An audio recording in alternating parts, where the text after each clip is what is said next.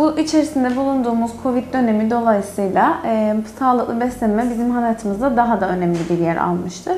Sağlıklı beslenirken, e, diyet yaparken düşük kalorili, eksik beslenmemeye dikkat etmeliyiz. Çünkü zaman içerisinde bozulan metabolizmamız, bağışıklık sistemimiz daha erken e, hasta olmamıza sebep olabilir. Bu yüzden de e, tüm besin gruplarını eksiksiz bir şekilde tüketmemizde fayda vardır.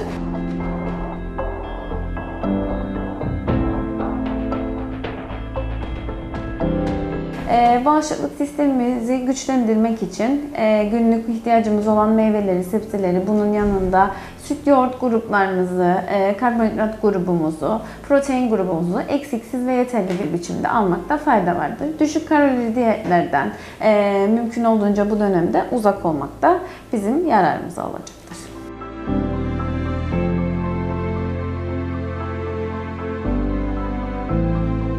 Yani şimdi mucizevi gıdalar tabii ki yok. Fakat bağışıklık sistemimizi e, güçlendirmek için vitamin ve mineralleri eksiksiz almamız gerekmektedir. Bu yüzden de vitamin ve mineralden eksiksiz beslenmemiz, e, bunlar da sebzeler dediğim gibi besin gruplarını eksiksiz almakla e, yeterli olacaktır. Daha fazla bir şey yapmaya gerek yoktur.